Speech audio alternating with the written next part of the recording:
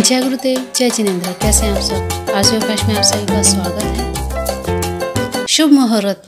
हमेशा से शुभ मुहूर्त के बारे में बताती आ रही हूँ, क्योंकि शुभ मुहूर्त का हमारे जीवन में बहुत ही ज़्यादा महत्व है। कोई भी कार्य जब शुरू किया जाए और उस कार्य को शुभ मुहूर्त में किया जाए तो उसकी सफलता के आसार और भी ज़्यादा बढ़ जाते हैं। तो मन में विश्वास हो जाता है कि ये कार्य हमने शुभ समय में किया है, शुभ मुहूर्त में किया है तो ये सफल होगा ही होगा।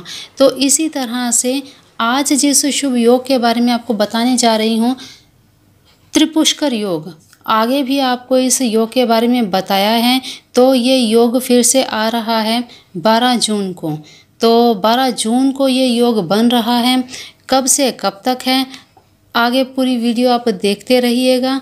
आगे आपको जानकारी दूँगी। देखिए दुपुष्कर योग और त्रिपुष्कर योग, इन दोनों योग का एक ही रिज़ल्ट निकलता है। द्विपुष्कर योग में दो गुना फ़ायदा होता है जो भी आप कार्य करेंगे और त्रिपुष्कर योग में तीन गुना फ़ायदा होता है। तो कुछ भी कार्य इन योगों में करने बहुत ही शुभ माने गए हैं। शुभ इसलिए कहूँगी क्योंकि जब एक कार्य आप करते हैं और उसमें आपको फ़ायदा होगा तो शुभ माना गया है। वैसे ये कोई शुभ, अशुभ का ये नहीं है। इस योग में ज़मीन जायदाद का खरीदना, गोल्ड का खरीदना, वाहन का खरीदना, गाय, भैंस, इन सब चीज़ का खरीदना, कोई नया कार्य शुरू करना, कोई आपने व्यापार शुरू करना है तो ये ऐसे कार्य आप अगर इस समय में करते हैं तो आपको इनके दोगुने फ़ायदे होंगे।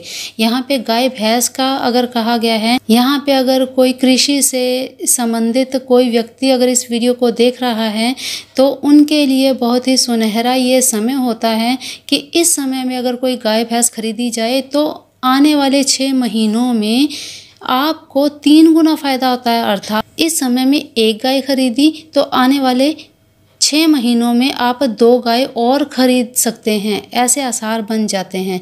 तो यही इसका तात्पर्य है, इस, यही इसका अर्थ है।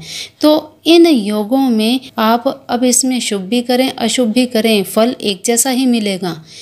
इन दोनों योगों में कोई भी आप अगर अनिष्टकारी कार्य करते हैं, किसी से झगड़ा कर लेते हैं, और या फिर इसमें आप किसी को कर्ज़ा दे देते हैं या किसी से कर्ज़ा लेते हैं तो ऐसे कार्य आपको नहीं करने चाहिए। यहाँ पे इन चीज़ों का आपको ध्यान रखना है, क्योंकि फल आपको दो गुना या तीन गुना मिलने वाला है। अच्छा करेंगे तो अच्छा फल मिलेगा, बुरा करेंगे तो बुरा ही फल मिलेगा। इसलिए इस चीज़ का आपने ध्यान रखना है। लेकिन गलती से कई बार क्या होता है, गलती से ऐसा कुछ कार्य हो जाता है। अचानक से किसी के साथ झगड़ा हो जाए या कुछ ऐसा कार्य कर लिया जाए, मजबूरी में किसी को कर्ज देना पड़ जाए या लेना पड़ जाए, ऐसे में इन अनिष्ट कार्यों की शांति के लिए द्विपुष्कर योग में दो गायों के समान धन और त्रिपुष्कर योग की शांति के लिए तीन गायों के मूल्य समान धन का दान कर देना चाहिए। और साथ ही तिलों से बनी हुई पिट्ठी का भी दान कर देना चाहिए। तो ये योग टल जाता है और जो आपको आगे अनिष्ट हो, उससे आपको निजात मिल जाती है।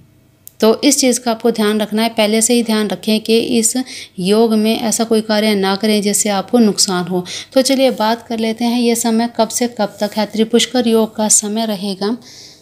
12 जून 2021 शाम को चार बजकर सत्तावन मिनट से लेकर 12 जून को ही रात को आठ बजकर अट्ठारह मिनट तक। लगभग तीन एक घंटे का ये समय है तो इन तीन घंटों के अंदर आप अगर कुछ ऐसा कार्य करना चाहें तो बिल्कुल आप कर सकते हैं, बहुत अच्छा योग है और ऑनलाइन भी अगर आप कोई कार्य कुछ ऐसा करना चाहते हैं तो निवेश अगर किसी में करना चाहते हैं, शेयर मार्केट वगैरह, जो इनकी नॉलेज रखते हैं, पहले उनसे परामर्श ज़रूर कर लें। उसके बाद अगर आप शेयर मार्केट वगैरह में पैसा लगाना चाहते हैं तो लगा सकते हैं। तो ऐसे कार्य आप घर बैठे भी कर सकते हैं। अगर आपको कोई ख़रीदारी नहीं करनी, आप नहीं कर सकते, क्योंकि ये लॉकडाउन का समय चल रहा है। अभी तो फ़िलहाल लॉकडाउन खुल भी गया है।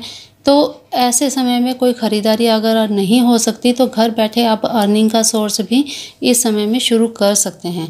तो चलिए आज के लिए विशेष जानकारी यही थी। मिलते हैं फिर अगली वीडियो में। अगली जानकारी के साथ किसी अच्छे और शुभ मुहूर्त के साथ। तब तक के लिए अपना ध्यान रखिए, मस्त रहिए, स्वस्थ रहिए, अपने अपनों का भी ध्यान रखिए। जय गुरुदेव, जय जिनेन्द्र।